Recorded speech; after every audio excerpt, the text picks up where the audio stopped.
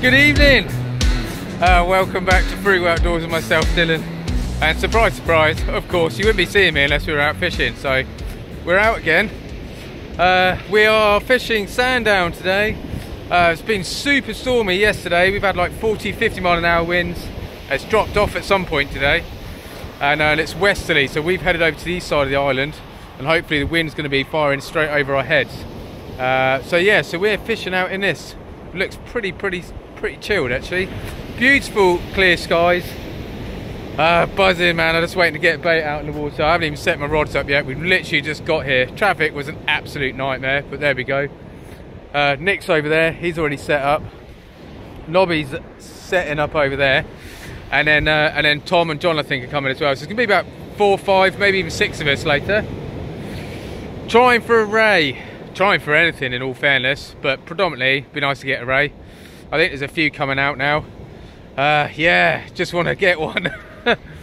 be nice to get one for the species, but it'd just be nice to get a fish to be honest. Like I say, fishing's been super, super slow, but I think it's been slow for pretty much most of the people I've spoken to. Anyway, there's a few good fish coming out, don't get me wrong, but they're just not coming out uh, with sort of re regularity, you know. So I'm going to get set up.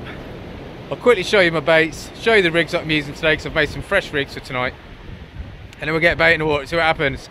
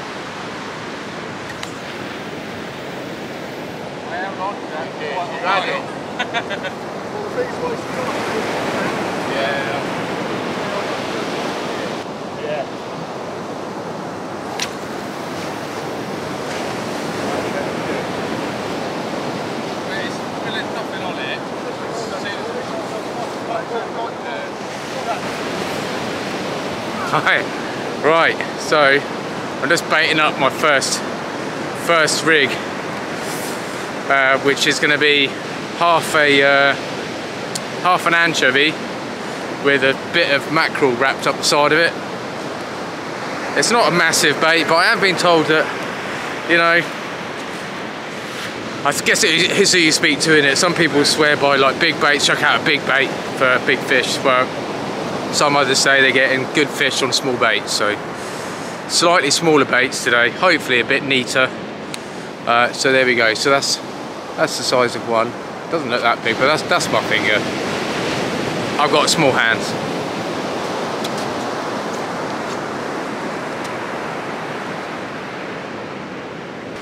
All right, and here we go. This is the uh, second bait of choice. So basically I've got um, anchovies, squid and sand eels tonight as bait.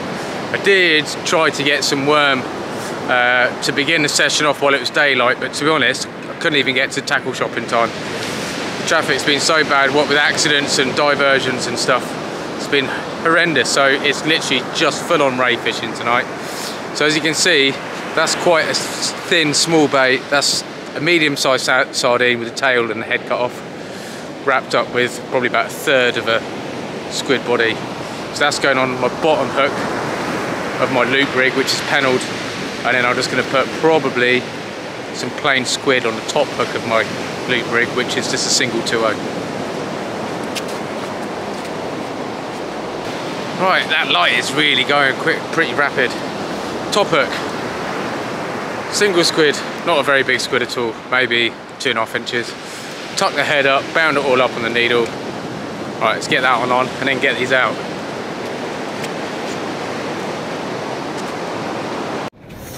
Right, let's get this set up then. Right, so uh, tonight's rods of choice, same rods as always to be honest.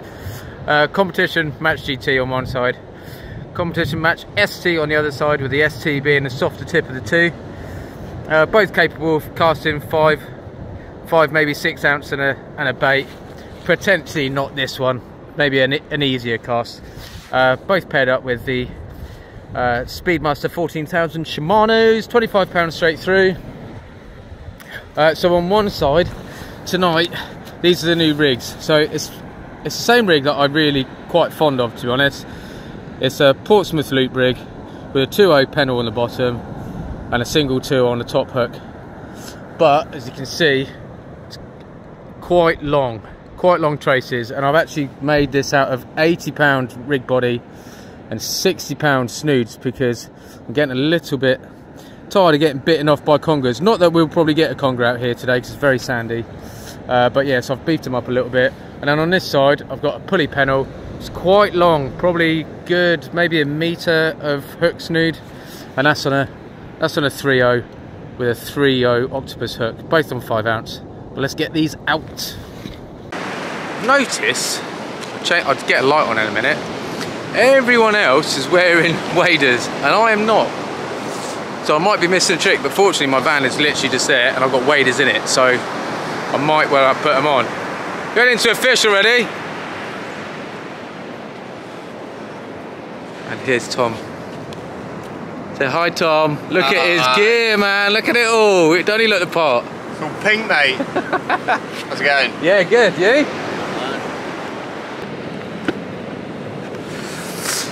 Ah, oh, here we go. So we're all out.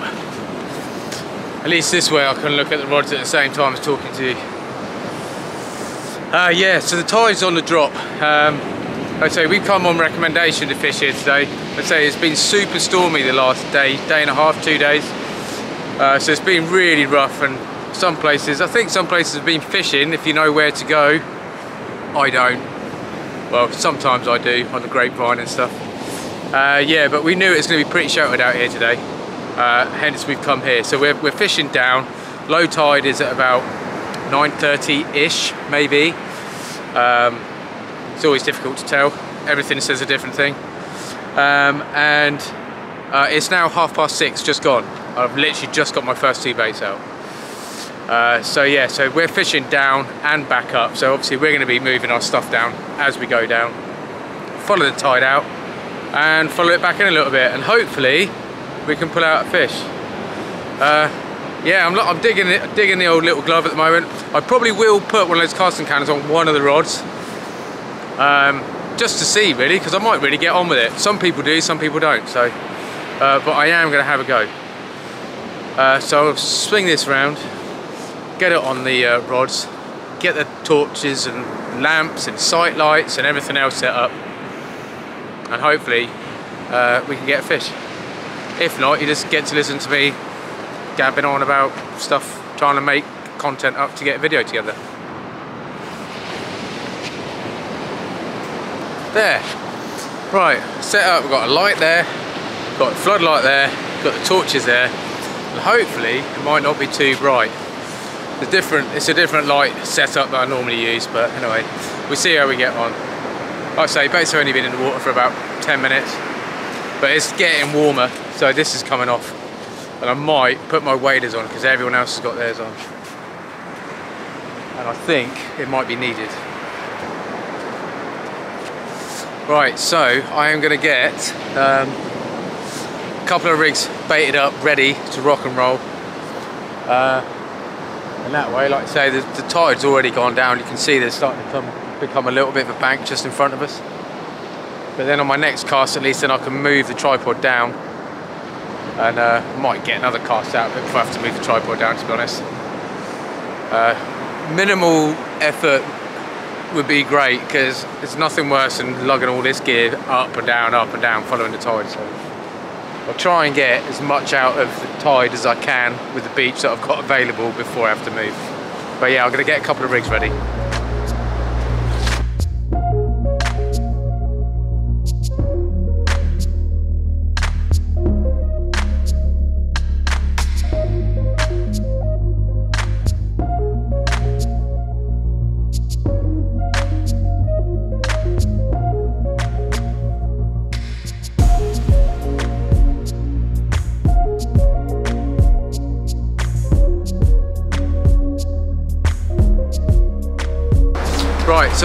Second cast anyway. Moved everything down the beach. Mission. Uh, but yeah, we're down by the water's edge again now. Uh, try that again, shall we? Second cast, moved down the beach. Clearly I didn't put my other tripod up properly. Uh, a couple of fish have come out now, which is cool. So Nick's had it to the left of me. He's had a uh, small little bullhuss. We think it is anyway. We, three of us have had a look at it and we all think it's a bullhuss.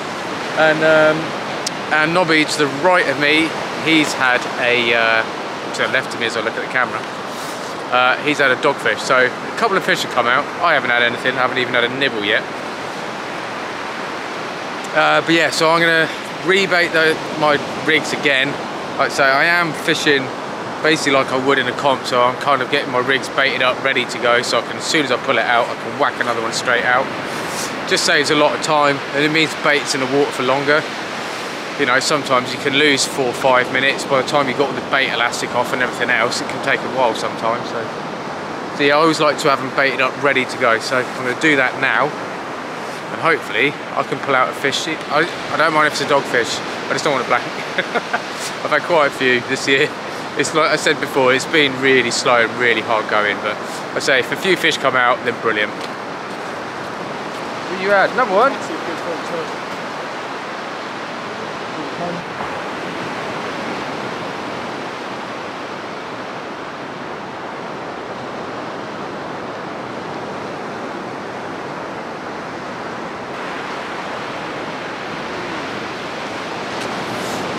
difficult to tell, but I think I might have a bite on the left-hand rod, but I don't know. It could be the swell, it could be weed. Might be dogfish. I don't, really can't tell at the moment. I'm going to leave it sit for a couple of minutes and then I'll think about changing it. I'll reel it in and having a look. Ah, that's how come you can talk to me. So now I can see what's going on. But that's a new light, but I've had to put that over it, like a... Oh, mate, but yeah, it does your face nice, doesn't it? Oh, yeah. If you want my body. Don't you know? oh, nice, mate. So, Nobby literally just said about five seconds ago, I reckon be close to getting a spotted in a minute, and lo and behold, There he is, he's yeah. got one. there he is. Good show, mate. Thanks, mate. Yeah, cool, man. The bellies are so white, aren't they? Oh, beautiful fish. Oh, that's cool. He's made up. So yeah, uh, Nobby's just had a, uh, a spotted ray. They are absolutely stunning, stunning fish. Uh, but that's great. I mean, that's a really good sign. So hopefully it won't be the only one. Like I say, there is. Uh, there's five of us down here, so there's ten rods in the water. I think I might be the only one that's blanking at the moment. So, uh, but it'd just be nice to pull something out. I don't mind pulling out just a dogfish, but if there's rays around, it'd be really nice to get spotted as well. Alright, I really need to pull my finger out because everyone else is having fish. Undulate ray, spotted ray, dogs, bullhuss, and I'm still blanking here. So I'm going to freshen those baits up. And yeah, just keep your fingers crossed, I guess. I'm not really doing much different. He did say, Tom said he had that one in really close on his really light rod. It's basically a bass rod, really. And he, yeah, he said it was in quite close, maybe 50, 60 yards. So, I mean, it only costs four ounces. But, uh, yeah, not doing very well. When you're surrounded by fish, it's a little bit frustrating. Yeah, so I'm starting to wonder if if the rigs that I've made for tonight, pretty much especially for tonight, if they're hindering me in some way because I've made everything longer. But they seem to be fishing, so you just start questioning yourself. Everyone around is catching fish and you're not. You're wondering what it is that I'm doing differently, but can't think there's a whole bunch. I haven't tried any different ranges, I've just been hitting it as hard as I can, so maybe I think on the next cast I maybe keep them in a little bit closer. Tide's not moving quite so much now, so we're getting close to the bottom of the tide. But yeah, two rays, I mean it's great, they're lovely to see, don't get me wrong, I'm really happy for the boys. but likewise, I would like a fish myself. We'll keep trying. That's what we always do, isn't it? We come out fishing to fish and just to sit around and enjoy the scenery. But a fish would be nice.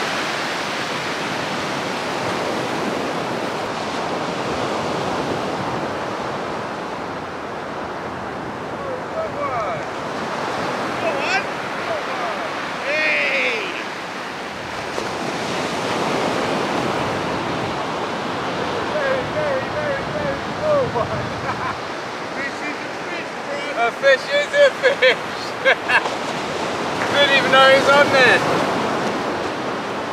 Got a little dog. I think that's the first dog I've had for the species hunt.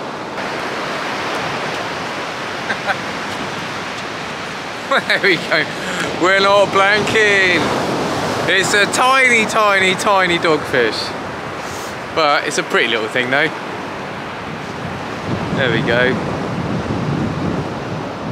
That is my first fish of the night, and I am gonna take it and be happy. right, I need to take it. Do you know what? I haven't had a dogfish for absolutely ages, so I've been doing the species hunt since the beginning of February, and this is the first one that I've been able to take a picture of. So I'm chuffed about that.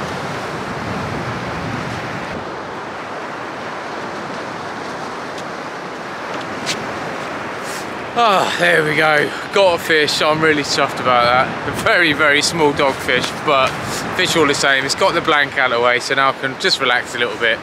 Keep firing out some baits. I had a very rubbish cast then. Tried, we were having a little muck around before we started, which I'll show you. or I might have already shown you. And uh, so I just had to try to do a bit of a loop in.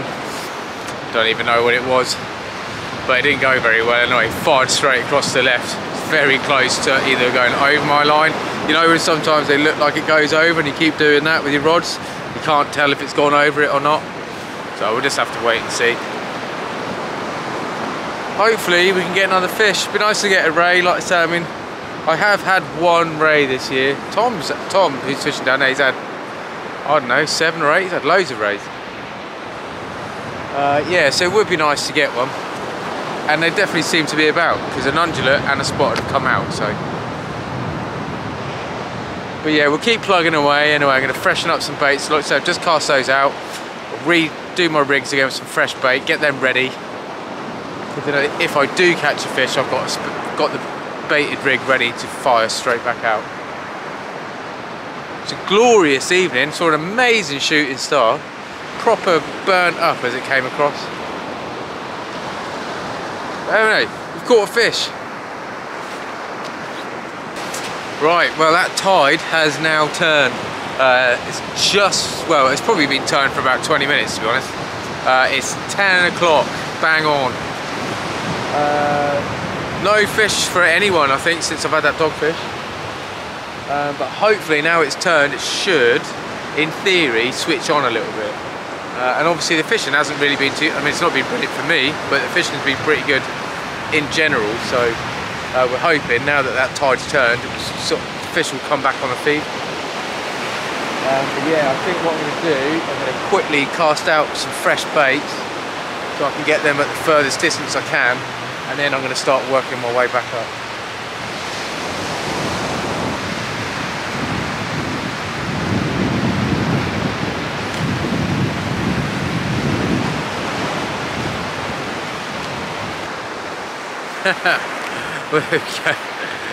it's another species.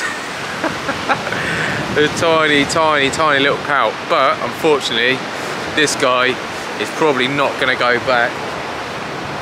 So it is going to be used as bait, which, as far as I've been told, is very good bait for, for ray. So I'm going to whack this on a 3 0 pulley pennel and chuck it out. Next cast.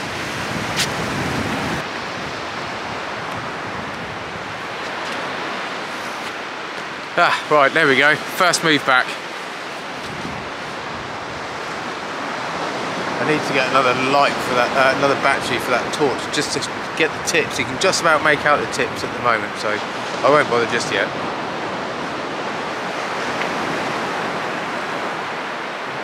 Yeah, let's bait up that pout. Right, there we go. One tiny pout. I mean, it's probably four or five inches. Not very big at all. That's all bound up.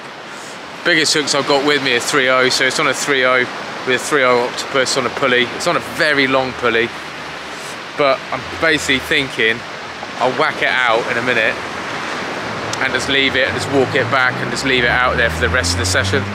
Like I say, it's probably about 10 past 10. And yeah, I'll just leave it out there for the rest of rest of the uh, rest of the evening. See what happens. Maybe, maybe it will come to fruition. Everybody tells me that pout, if I'm after a ray, pout is the best bait. So we will find out. Right, I'm going to chuck uh, chuck a new fresh bait out on that right hand rod.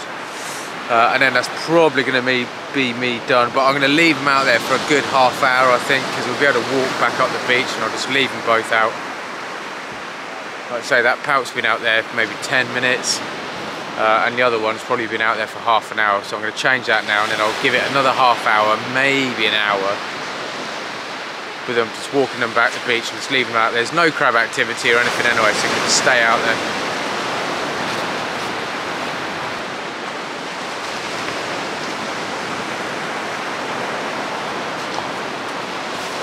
Yeah, well, I am going to call it. Uh, it's nearly, it's getting on for 12 o'clock and I've got to get some fuel and it's literally one garage on the whole island where I can get some fuel. Uh, so I need to get some diesel on the way home. Uh, so yeah, end of session. Um, yeah, I've got to be honest. I mean, it's not been very eventful for me. I'm super chuffed that the boys got some rays and that's what we came out for. So some rays got caught. So target achieved there. Um, but yeah, I'm a bit gutted obviously that I didn't catch one, but just means I've got to try harder next time, and that's what we always say. It's what loads of other people say as well. When you're not quite hitting the target, or even hitting some fish sometimes, it does make you try that much harder the next time you go out. So I'm going to go back to the drawing board, might reduce the length of my rigs and maybe thinking they're too long because I did probably worse out of all five of us tonight. And the only thing I can think of is that maybe I made the, all of my rigs just too long. Um, so yeah, so I'm going to pack them up anyway, pack these rods away and uh, hit the road. Uh, so yeah, I hope you enjoyed it um, and if you haven't already, please do subscribe.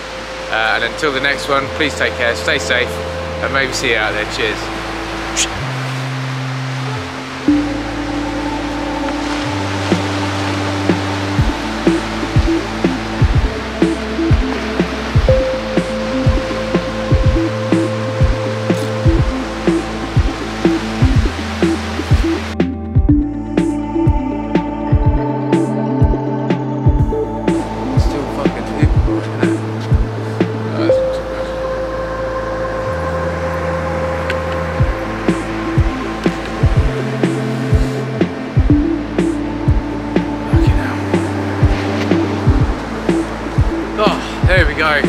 Second cast.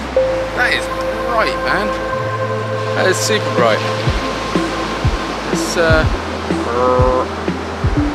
don't know what to do about that.